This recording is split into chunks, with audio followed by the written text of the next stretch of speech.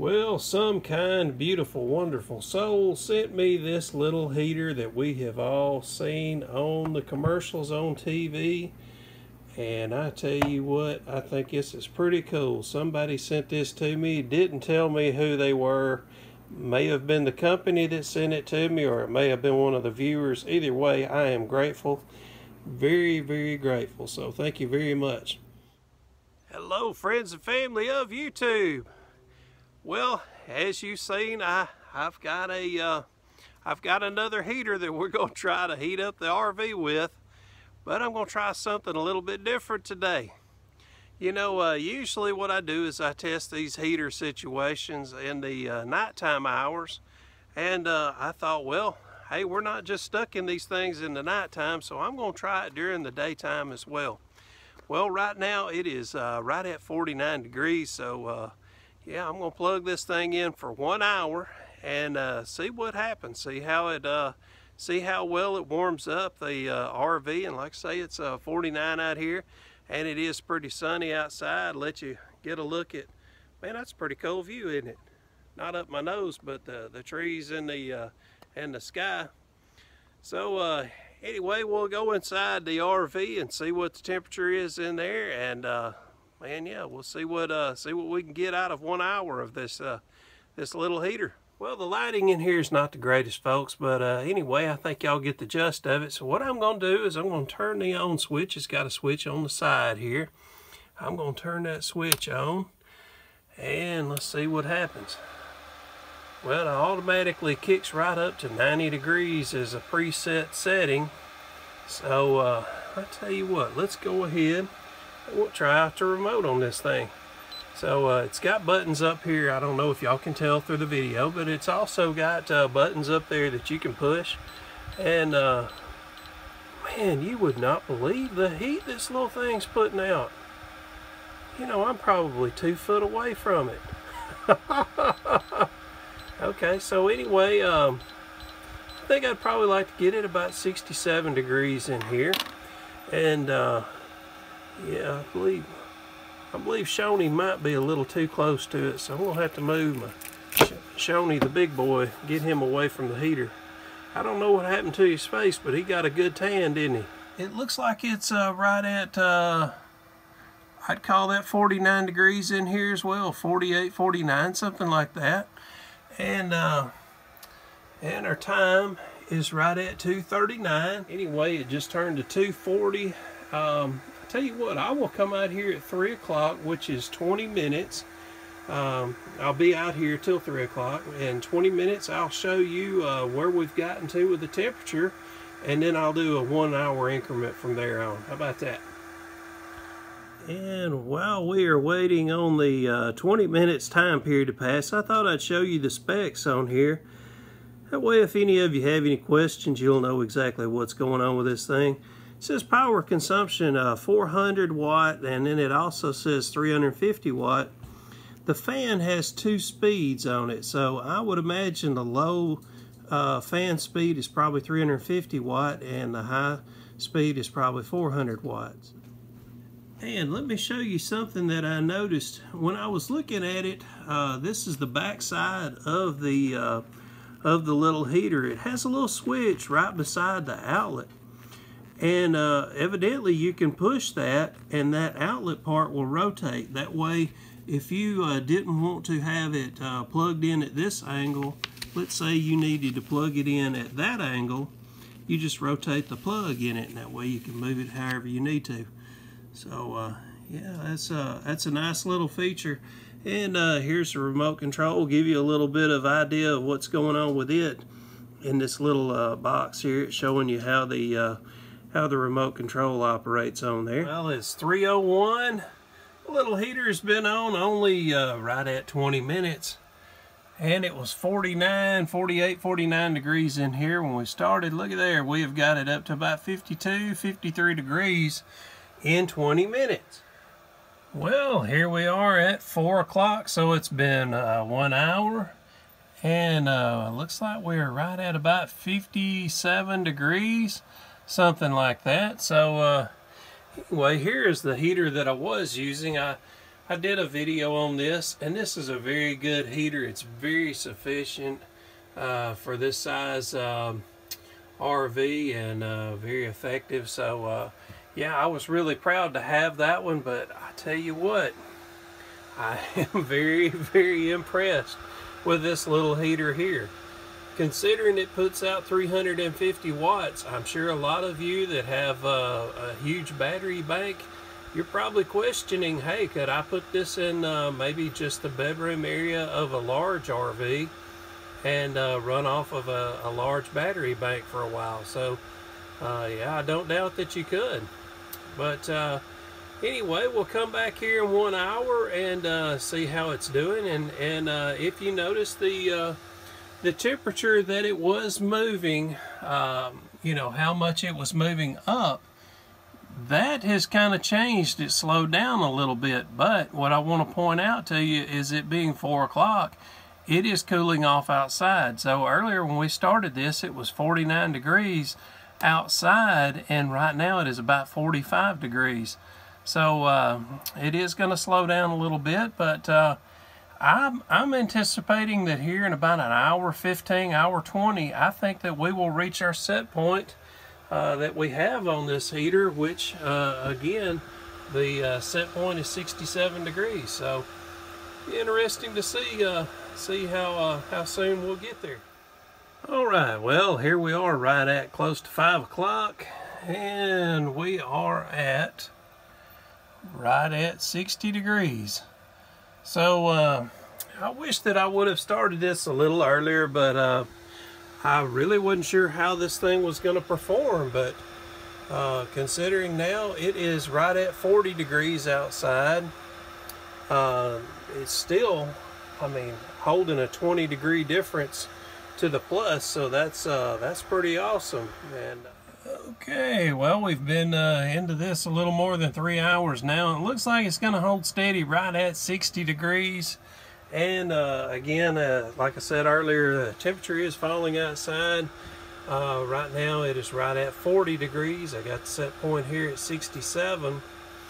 Uh, so, I tell you what I was wanting to do is get this up to uh, 68 degrees using this heater here and um, my hopes are is to see that uh, let's imagine that we were somewhere that we could run the generator for a while get uh, get this heater here going and this other small heater uh, the new one here along this wall get both of them going get this RV up to a good 67 68 degrees uh, with the generator and then uh, let's say that you had four or five batteries on board and you wanted to uh, cut off your generator and cut this off as well and just solely run this off of your four or five batteries six however many you have on board. And uh, some of you guys that know your uh, wattage and all that stuff y'all y'all would know how long you could actually run this. And if you could leave it down in the comments below as I said, if this is running on low, this runs at 350 watts. If you've got it on high, it runs uh, 400 watts. So, uh, you know, if you were somewhere also, like, uh, let's say, um, let's say you were at the RTR and you had uh, one of your neighbors is going to run a generator. Well, if he run a, he or she run a 4,000 watt generator, you could run 10 of these you could run 10 of these heaters off of one 4,000 watt generator. So uh, essentially 10 RVs could run one of these each off of one generator. Now of course I know that that's not something that you would do, but I'm just kind of giving, giving you an example. So, uh, you know, a good way to look at it is why would uh, 10 neighboring RVs want to run a generator each? You could definitely crack it down to say five generators. Let's say uh, or five uh, RVs. You got five RVs. You uh, you get with your neighbors. You're like, hey, you run the generator tonight. We all get to run one of these heaters here to stay nice and warm.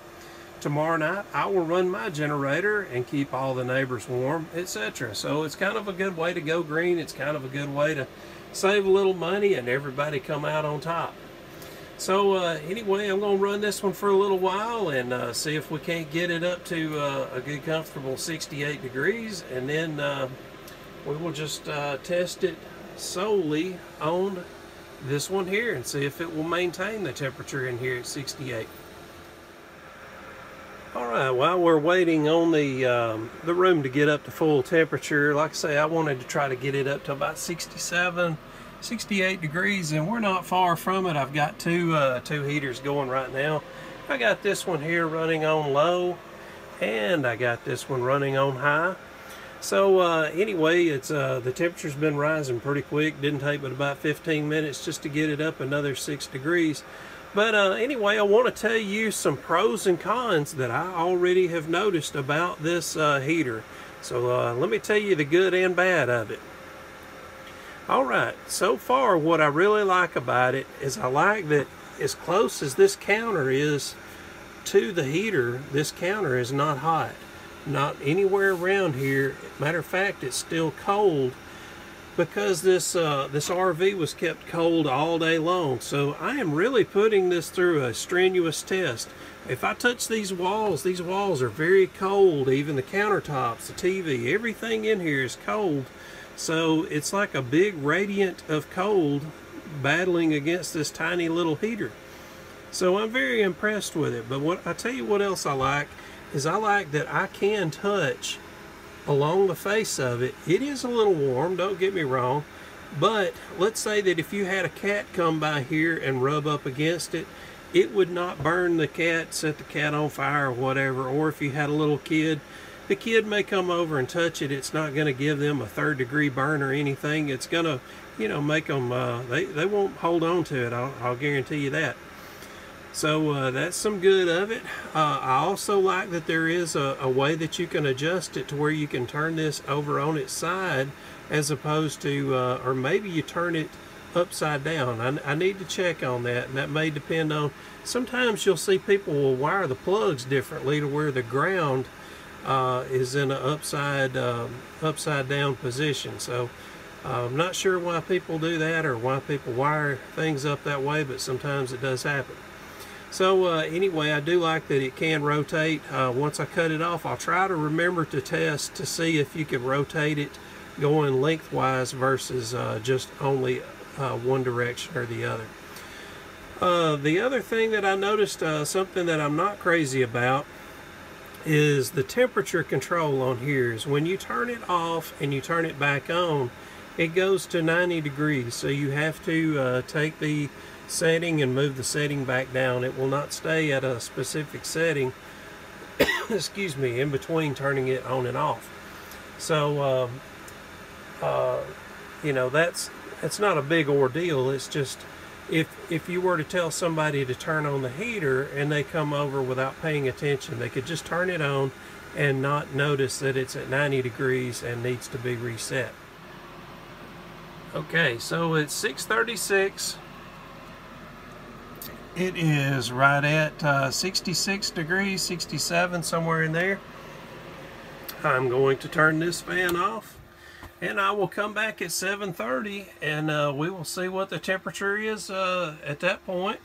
See if this is able to maintain a nice comfortable temperature.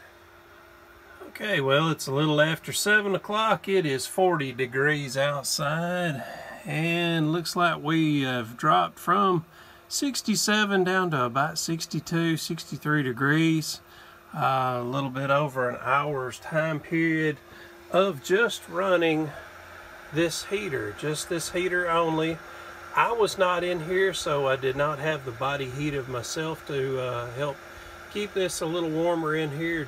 Uh, most of the time it would be me and the dog.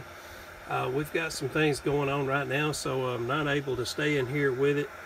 But uh, I tell you what, I am very impressed with this little heater uh, for many reasons. One is, uh, you know, these RVs are not very well uh, insulated. You've got a R value of about seven, I think, on the walls of this RV, and uh, it seems like that's about the same on the floor and the ceiling as around seven, R7 on here. So, uh, yeah, for this thing to uh, to keep uh, keep it heated up around uh, low 60s with it being 40 degrees outside absolutely very impressive little heater.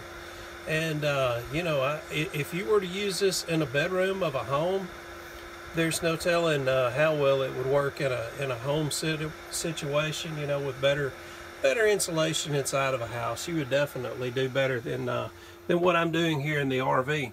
Because again, it was around three o'clock, if I recall, of when I started uh, heating this RV up. So all these walls are just, man, when you put your hand on the walls, they're just cold. So for uh, for this little uh, for this little heater to uh, to keep it this warm in here, extremely impressive. Very, very impressive. And if you didn't catch uh, what I was saying in the first part of this video, somebody sent me this little heater and uh, I have no idea who did it. I don't know if a, if the company that makes these uh, sent it to me or if a viewer did. Either way, I am very grateful, very appreciative because hey, I will be using this little heater very nice little uh, unit. Hey, I like that it's got a remote control even though in this small little RV you don't need a lot of remotes because uh, you know everything's at uh, within just a, a, hand's reach but hey it still will come in handy because you know cold nights, you don't want to reach outside of those covers you want to just be able to, to uh, grab that remote and get business done. Folks, hey, I appreciate y'all spending some time with me today. I hope y'all enjoyed this little video and uh, I may have some more of this series coming to you soon of the uh, keeping the RV warm. So uh, thanks again, folks. I appreciate it. Y'all have a great day. See you soon. Bye-bye.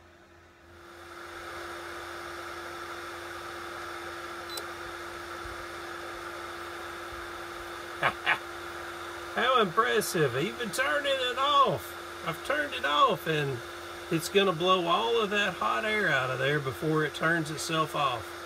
That way it does not go into off mode with a bunch of heat still stored up inside of it. Smart little unit. thank you, thank you, thank you. Whoever sent that to me, I greatly appreciate it.